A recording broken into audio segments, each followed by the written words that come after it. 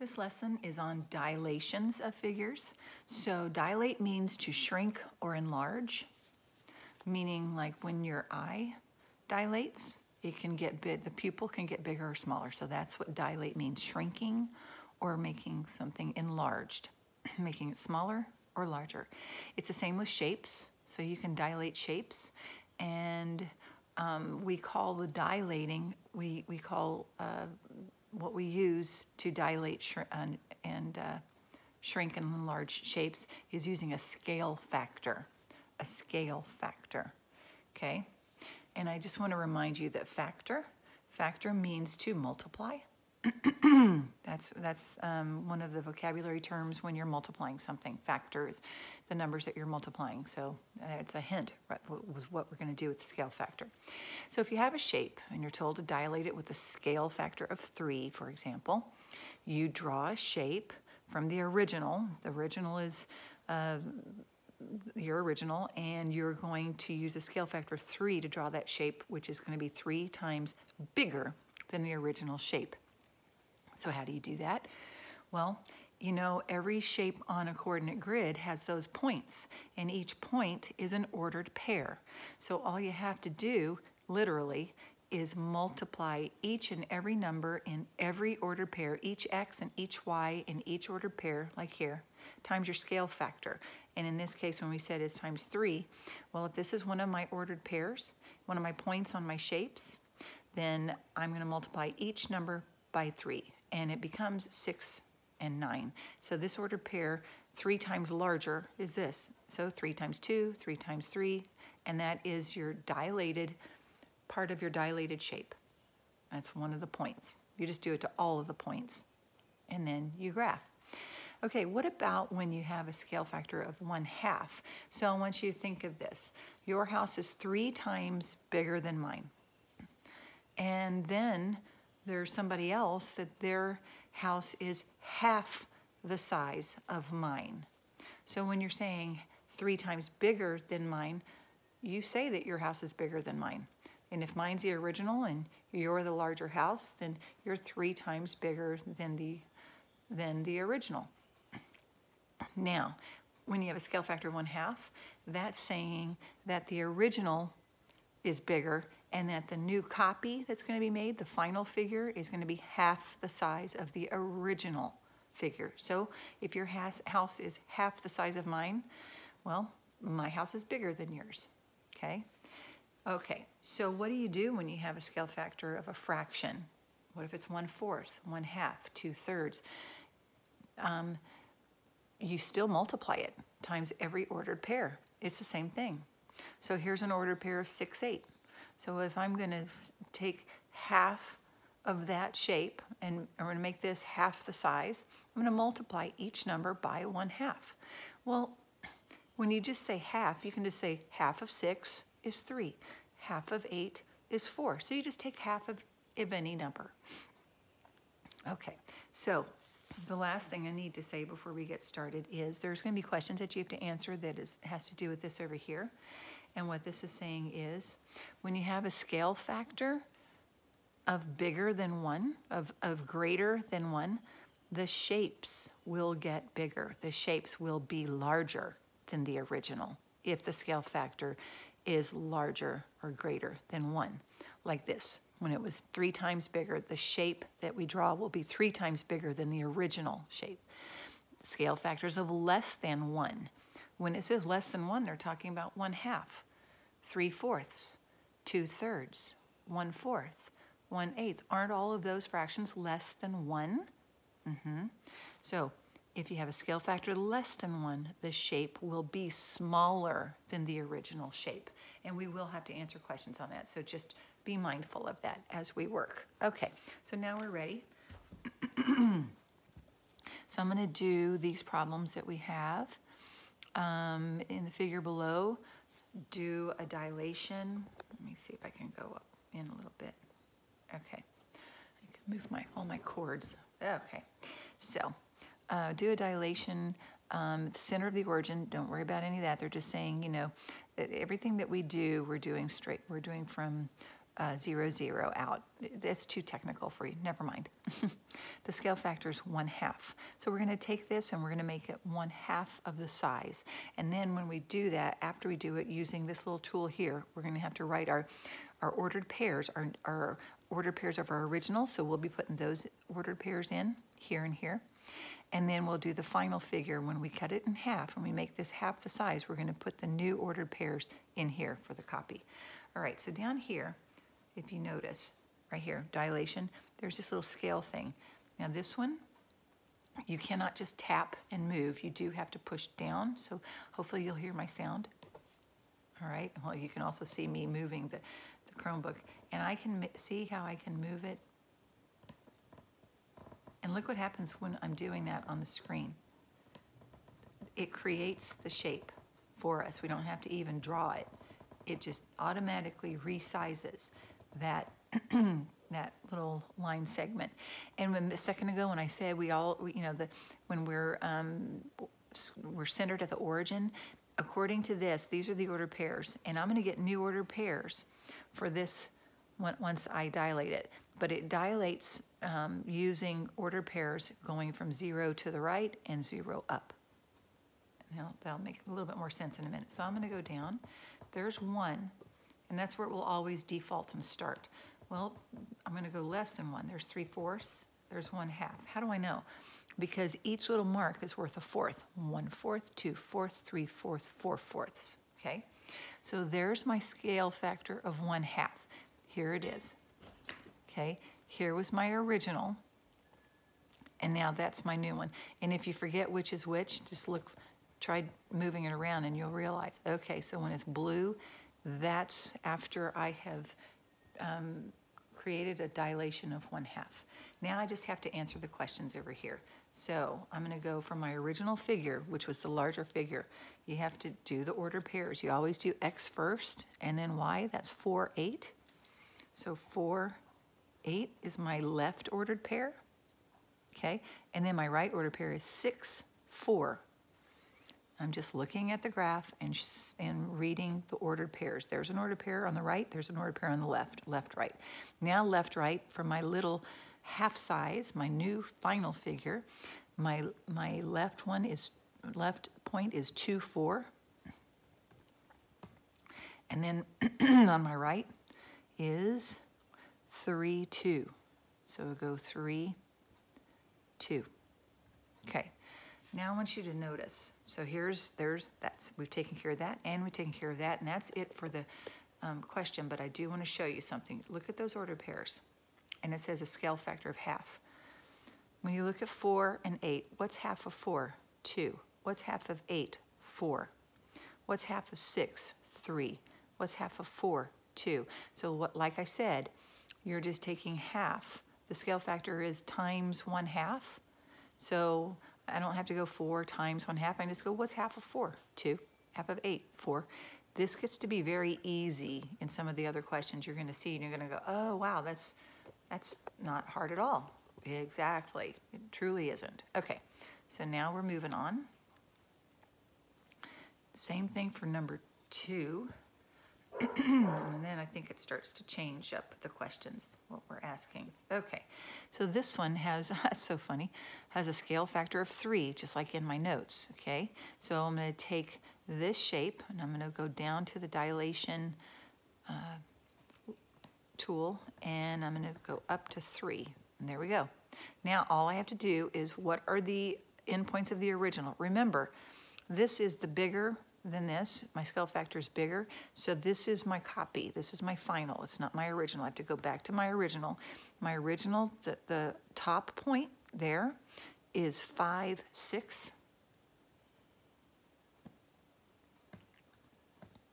And then the bottom is 5, 2. Okay, and then the endpoints of the final figure from top is, well, you know what? Let's test something. We should be able to multiply the 3 times the 5 and the 3 times the 6, the 3 times the 5, the 3 times the 2 to get these endpoints. So let's try it. So 5 times 3, 15. 5 um, sorry, 6 times 3, 18. And then the bottom, 5 times 3, 15. 2 times 3, 6. Now let's just check. If I go to 15, 18, will I hit this point? Let's see. 15, 18, sure did. If I go to 15, 6, will I hit this point? 15, 6, I did. See how it works? Okay. Now, we're moving on. Okay. Now there will be um, a few different questions on this. you see my son's dog. Okay. So we have more questions this time. We don't aren't just um, graphing the dilation. So it says a scale factor of three again. Okay, I'm okay with that. Push down hard and move it to the right till you hit three. Okay, it's not that hard. You'll see. There is my copy, my final. There's my original. Now we have to answer questions. The longest side of the length of the original figure, of the original. This is the longest side. Hopefully you can tell that's the longest side. It's two units, two boxes. So that's, oops, so that's what you put in, in there. You just count how many boxes is that longest side. You just answer the questions, you know? Okay, and of the final, one, two, three, four, five, six. Now, do you notice something? Two times the scale factor of three equals six. So I could just do the small one and do the scale factor times three and I get six. It'll work just like that. You don't have to count the boxes. You need to count the, you can count the boxes of the original too, but then do the scale factor times three, you get six, and that would be the next answer. Fill in the blank to make a true statement. The longest side of the final figure, so that long side that was six right here, equals what times the longest side, the little one, of the original. So, so we have the longest side, which is six, equals two times what? Basically, this answer here is your scale factor. They're saying what times the longest side of your original gives you the longest side of your, your uh, copy. And it's your scale factor. It's three. Whatever the scale factor is, it goes in there, okay? And this is where this part comes in. Remember I talked about that? Scale factors are bigger than one your resulting shape is larger or bigger. And if it's less than one, if you have a fraction for a scale factor, your resulting figure, your final figure is smaller than the original. Okay, so it says, true or false, a dilation with a positive greater factor, scale factor greater than one gives a final figure smaller than the original. That's not true. If the scale factor is less than one, see if it's if it's greater than one like this, it's going to be the the final figure will be larger. So this is false. Okay. Okay, next, true or false, the original figure and the final figure are similar. I'm just going to let you know, every time you can multiply anything or do, use a scale factor with an original shape, whatever shape you get is going to be similar okay? Everything's going to correspond. Each side is two times bigger from this side, not two, three. In this case, the scale factor three, this is, each side is three times bigger, okay? So as a result, yes, it's similar. Similar means the same shape, but different sizes. We blow up the size, we shrink the size, but it's still the same shape. Okay, so that's true. And then we're done with that question.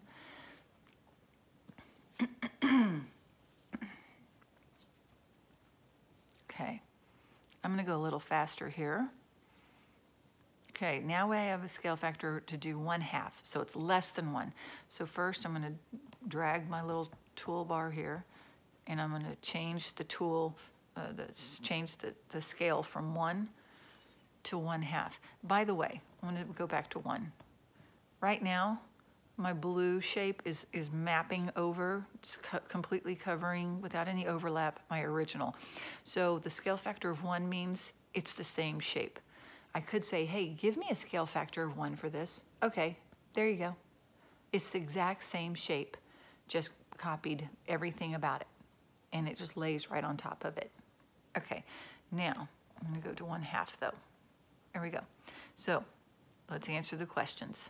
the longest side of the original figure. The original was this, and it goes from zero to eight, so that's eight units. Okay, the longest side of the final. So the same side on the final. Well, if this scale factor is one half, then what's half of eight? Four. And if you don't, if you're not positive, look from zero to four. Now, see, four, eight. And then what do we, what did we multiply times each or divide by, but no, we're multiplying. How do you get from the larger to the smaller? You multiply the, the, um, the original by one half. And for this, I have to use the tool over here. So it's going to be one half, okay? My scale factor goes in there, whether it's larger than one or less than one. and it says if the, the, the scale factor is less than one, the final figure is larger. No, if it's less than one, it's smaller. And the original figure and the final figure are similar, always. This will always be true, okay? Then we move on.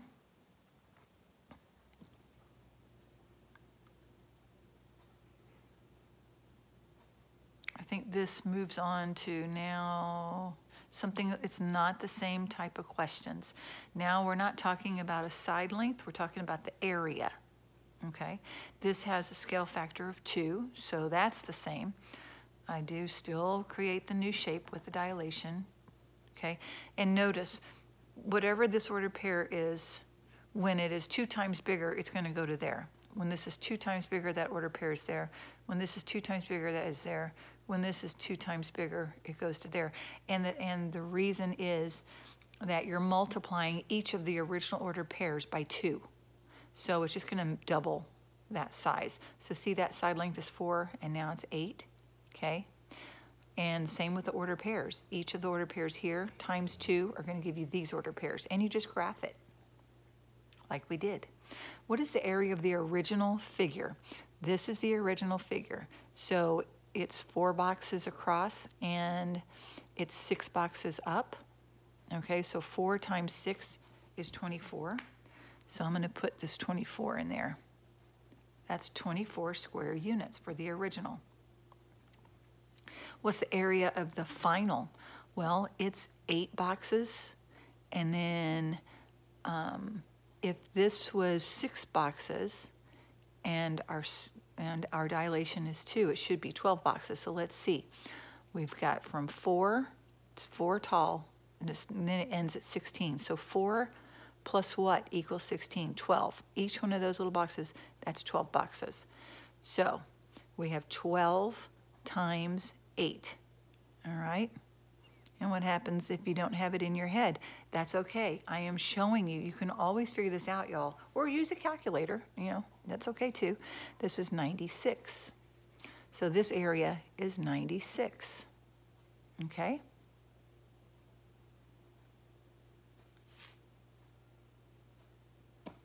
So the final area is 96. Okay. And again, our area of the original was a four by six, and then we make this, um, the new shape will end up being eight by 12, okay? okay. So we now come down here. The area of the final figure, okay, which is 96, the area of the final figure equals 24 times what? Okay, so the area of the original was 24. So what times 24 is 96? So 24 times what is 96? 4. So I know that you're saying, why isn't it just 2? Well, we have two dimensions, okay? We have a length and we have a width, and each of the length was doubled and the width was doubled, and so when you double it, you actually have to multiply by four because you have two dimensions that you're talking about. That's doubling it by two times two. That's four. So we're gonna put in the area of the final figure equals four times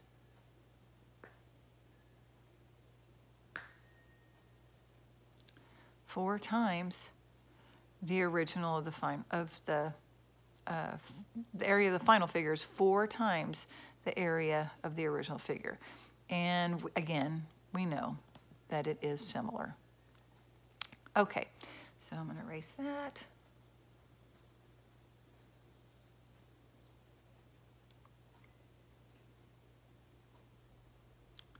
Okay.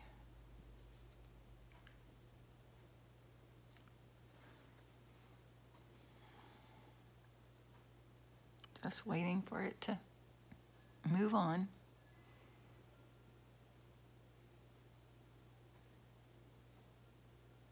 Okay, now we're going to do a dilation centered at the origin with a scale factor of three. That's a teeny tiny little shape, isn't it? Okay, so we're going to move our toolbar down here to three. Okay, um, and now answer the questions. The area of original figure is two because I count two boxes. It's pretty easy. Now this one, so two, four, six boxes by three boxes, meaning I just multiply each of those lengths by three. All right, so one times three is three. And then two times three is six. So a three by six is 18. Okay, fill in the blank to make a true statement. All right, so I've got my area this is uh, 2, and this is 18, okay? And the area of the final equals what times the area of the original? Okay? So we've got 2 and 18, so we're going to put in 9 and we're going to say, yes, they are similar. Okay, and just for grins, we will check this.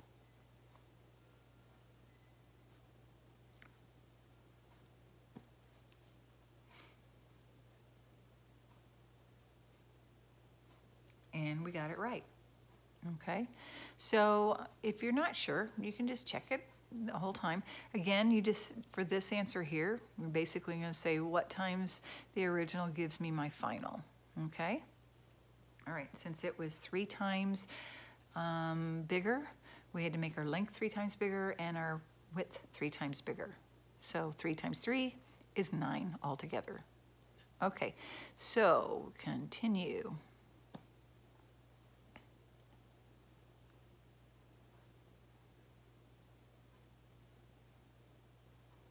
All right, moving on to number seven. Here we go. Draw the image of the following segment after dilation centered at the origin with a scale factor of two thirds.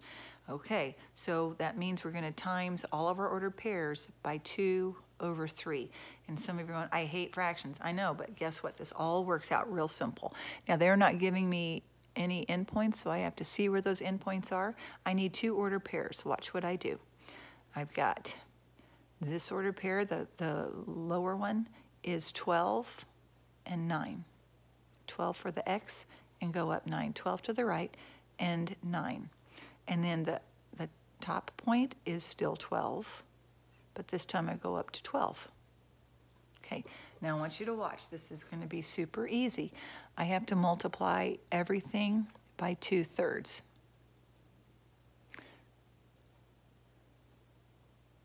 That's basically, again, your scale factor. So now watch what I do over here. First off, when I figure out what 12 is, I can use it there, there, and there in my new uh, shape. Okay, and I, and I then, I'm not gonna draw anything until I get my order pairs. See, there's no, no scale factor thing down here, toolbar. So I'm gonna have to get my new order pairs by multiplying each of these numbers by two thirds. So what happens when I multiply 12 times two over three? Well, 12 times 2 is 24. You scoot it over a little bit. it's 24 divided by 3, and that's equals 8. I hate run-ons, but I'm going to go ahead and do it here for lack of space. All right, or you could have said 3 goes into 3 once, 3 goes into 12 four times, and 4 times 2 is 8. All right, so everywhere there's a 12, because I only once I do it once, it's good for all because everything's being multiplied times 2 thirds. So here, that becomes an 8. Here, that becomes an 8 and an 8. I only need one more number, 9. 9 over 1 times 2 thirds. You could say 3 goes into 3 once, 3 goes into 3, 9, 3 times, and 3 times 2 is 6, but I'll do it this way in case people just go, what? I don't know how to do that. Don't know how to cancel. 9 times 2 is 18. Divided by 3. 18 divided by 3 equals 6.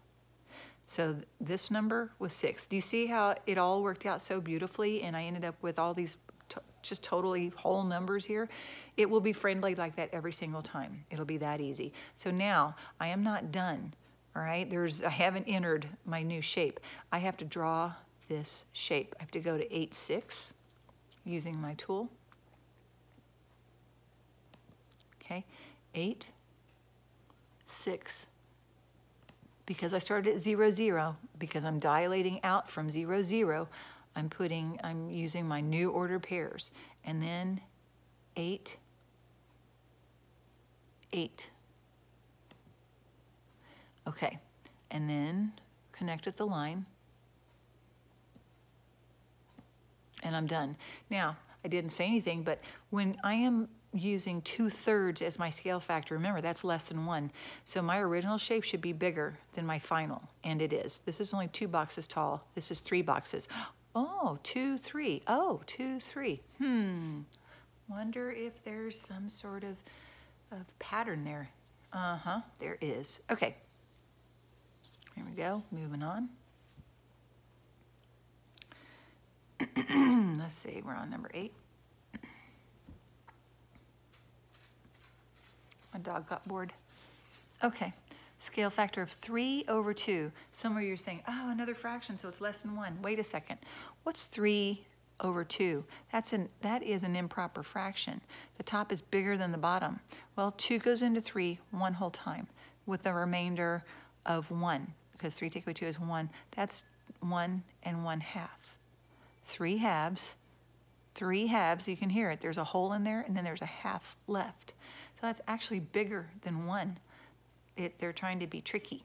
So this shape is going to be smaller than my copy, which is going to be one and a half times bigger. Okay, so we're going to get our order pairs, which are, I have to see the x axis, 6, 12. And then my second order pair, I just did that one. And this one is 10, 12. Well, once I figure out 12, it's going to be the same number for the when I make my copies, okay? And then I have to do six and I have to do 10, but that's okay. I'm not going to use one and a half in my calculations. I'm going to use three halves. So six, I'll start here. Six times three over two okay? I could cross cancel. Some of you are, and you've already seen the answer, but that's okay. So I'm going to do this for other people that don't like canceling. 6 times 3 is 18. 18 divided by 2 is 9. So this 6 just became a 9. It's one and a half times bigger. And think about it. What's half of 6? 3. So I've got a whole 6 in here, and then I've got three extras. That's because I got a whole 6 and then a half of 6. I've got 6 and a half of 6, which is 3 which makes nine. Wow. Okay, then I'm gonna go ahead and do the 12. 12 times three over two. Okay, 12 times three, 36, divided in half. Half of 30, uh, half of 36 is 18. Or I could have said, two goes into two once, two goes into six uh, 12. 6 times 6 times 3 is 18. So this number here is 18. And this number here is 18. Now I just to do 10. 10 times, I'm doing that point, the x value, times, excuse me, 3 over 2. Okay, that equals 30 divided in half, and that's 15. So this number's 15. Now I can graph, okay? I, I have the original, now I've got my copy, nine eighteen. So why am I using my, using my pen, I don't need to do that. Okay, nine up to eighteen, all the way up here. Now I kind of lost my nine again. There's nine and 18. Oof, it's way up there. Oh, how, how about getting this? Okay, that's why. Look, see, this also helps. Now I put it on nine, it's so much easier. Yep, much easier. And then 15, 18. So I gotta go find 15, 15. Oopsie, stay on 15. And then as same height, 18. Then I connect with the dot, the uh, line rather. Okay, and there we go. There's my original, starting from zero, zero. There's my original, starting from zero, zero. There's my copy, and it's one and a half times bigger. Okay? Okay. All right, we've only got two more.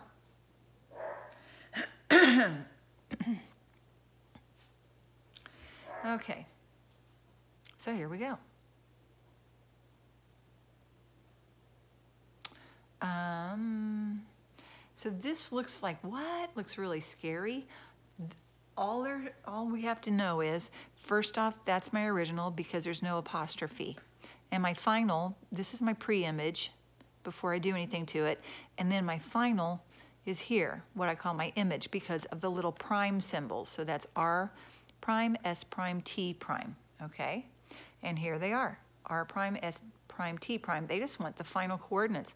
I really, I can look at this and I can go, okay, so where, what's that point? Or you know what I can do? It says the scale factor of three has been applied. So I can take three and multiply all of these numbers times three to get these numbers. It is exactly the, what you're supposed to do. So three times negative one, negative three. Three times four, 12. Keep going. Three times three, nine. Two times three, six. Negative three times three, negative nine. And then negative one times three, negative three. That's all you do, okay? So I'm gonna scroll down and now answer questions. what is all this? This is really very easy. What was our scale factor again? Do you remember? It's three. So I am multiplying x's by three, okay? So it would, and if I said x times three, I usually say three times x, right? Okay, so I'm multiplying my x's and I'm multiplying, move this over just a little bit, multiplying my y's by three. My scale factor is three scale, scale factor, scale factor. And this is the x in the ordered pair and the y in the ordered pair. So really they're saying, what do I do when I have my ordered pair, x, y, this is what I do to my x and my y. This number here is the scale factors, they're saying. There's the different scale factors. So I need to see where it says three times the x and three times the y. And it is in that order. They keep it in x, y order over here. So that really eliminates everything and you're just looking, basically, this is what you're looking for. That's gonna be your answer. So find it. Nope, that's one third. Nope, Y is first. They will do that. They'll trick you and put Y is first. I can zoom in a little bit, I think. Okay, we're looking for 3x, 3y. Nope, they only did it to x. There it is. So you click that, okay? Now, I am going to show you the other options that they had, none of which show 3x and 3y. That one doesn't have the x, that one's a fraction again, that one's one whole number and one fraction, and that's one fraction and one whole number. So really, it'll, it'll just jump out at you. You look at your scale factor, next to the x, comma, scale factor next to the y. And that's what we call the rule. It's a general rule. And they're saying for every ordered pair, this is what you're going to do. The arrows like this is what you're going to do. Multiply each of the x's by 3, multiply each of the y's by 3.